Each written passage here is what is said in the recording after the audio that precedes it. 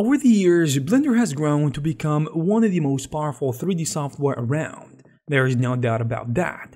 But one area where it still has major flaws is its scattering system. It's boring, limited, and not good enough for most projects. And as a way to address this long-lasting issue, we'll discuss a bunch of paid and free add-ons to help you improve your scattering experience and save time and effort. Let's kick things off with GeoScatter, an add-on that proudly declares itself as the ultimate scattering solution for Blender.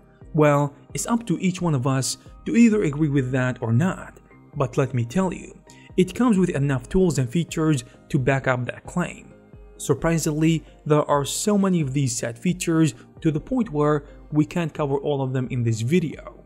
But in short, it is an add-on that allows you to scatter any object on any surface, using its powerful geometry node system. And while that might sound complicated, it is in reality very simple to use, which we could see through its user interface.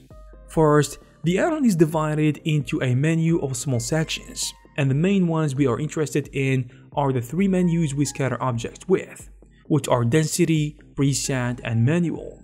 Density lets us choose the objects and click a button to scatter them randomly. Preset offers us the ability to choose a theme, like a forest, and distributes objects in a way that matches the thumbnail image. And then Manual, which allows us to paint the objects where we want them to be. But also we have a never-ending list of cool features. We have a tweaking section, where we can, for example, build multiple scattering systems that can influence each other, like a layer for grass and one for flowers, along with various scattering methods and endless ways to change how it looks, from simple ones like adjusting their scale and rotation to more advanced options like the creation of transitions between your scattered elements, which is fantastic. It also features a win system and collections upon collections of assets, including free ones, as well as different ways to make your scatter systems interact with other 3D models in your scene. Please keep in mind that we are only touching the tip of the iceberg here, because like I said, it has way more tools and features. A lot of Blender users are using Geoscatter, but a lot of them as well are choosing Botaniq, which is a complete library of different trees and plants, as well as a powerful scattering toolset to distribute this collection around. So what is this package? Botaniq comes with a system similar to the density scatter of Geoscatter. You can for instance pick a field such as a sunflower, dry grass, or even snow. And just like that, you can distribute the objects around your surface. In addition to the expected editing abilities, that we usually find on this type of add-ons. For example, we have small panels to adjust the size and rotation. Based on that, you might be thinking that this is not so impressive. This might be true to a certain extent, but what makes it stand out is its library. Let me explain. It comes with an adjustment menu, where we can change the look of the assets however we want. Let's take a tree for example. We can change the season of the leaves like summer and fall, or play with the colors to match the vibe of the scene that we're going for. Maybe brighter leaves if we want something cheerful, or darker for a horror type of project.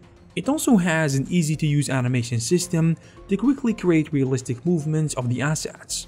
In their most recent update, they have added 53 assets, 17 grass, 9 succulents, 11 shrubs, 5 plants, and 11 deciduous assets. With a full library of 723 assets in total, but you can choose a license depending on how many assets you want, whether it be starter, light, or full. Next we have Gscatter, a free and powerful layer-based scattering add-on. First, let's address the elephant in the room. Compared to the other add-ons in today's video, it's honestly not the best, but for a free tool, I'm honestly surprised with how amazing it is. So let's check it out. For starters, it is divided into three panels, the emitter, a self-explanatory menu where we can scatter different systems on top of each other, and then we have the effects layer and the optimization layer for the different camera settings, as well as a small library button to choose from the assets that come with it, such as IVs or green moss or loading our own assets. And now for the effects layer, basically the one where the money is at, and it is divided into four parts, which are distribution, scale, rotation, and geometry. Within these, we have the generic editing capabilities that we are used to, but also the ability to add effects that change the behavior of the scattered objects. For example, in a grass field, making some parts have more grass than others. Now, we also have Grassblade, which is an add-on that introduces itself as one of the ultimate add-ons for grass scattering for Blender. And what can I say? They actually have a case. And interestingly enough, it is based on the geometry node technology of Geoscatter. So if you want more options when it comes to scattering, then you probably should go with Geoscatter itself.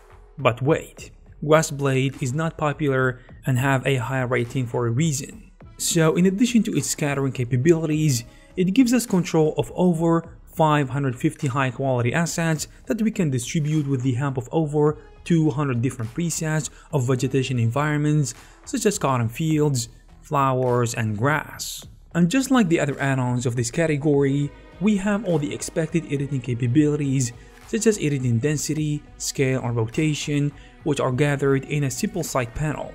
But the difference this time around is that you don't have to stop there, because you can also edit the textures since each asset comes with a well-designed node group.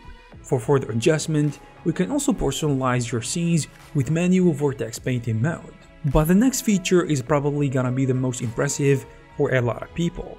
And this is a problem that a lot of people face when using foliage and vegetation in general, which is the fact that they are very heavy and require a beast of a computer to run smoothly. So the way this add-on gets rid of this is by using a proxy system that replaces the shapes of your scattered objects in the viewport to edit them more easily.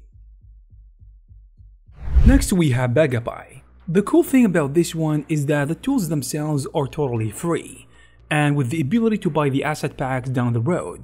But here's the thing, it is not exclusively a scattering tool, because it covers multiple aspects of 3D work, such as modeling and generators, which you can check out in our previous videos about Blender add-ons. But today, we're focusing on scattering. So Bagapie offers a big but very clean side panel, which features most of what we already mentioned in this video. You know, the density, rotation, scaling options, and so on. We can also use a texture to pick where the objects are scattered. And if that is not enough, we can also switch to the manual weight painting mode and the use of proxy in the viewport to help with performance, which is great.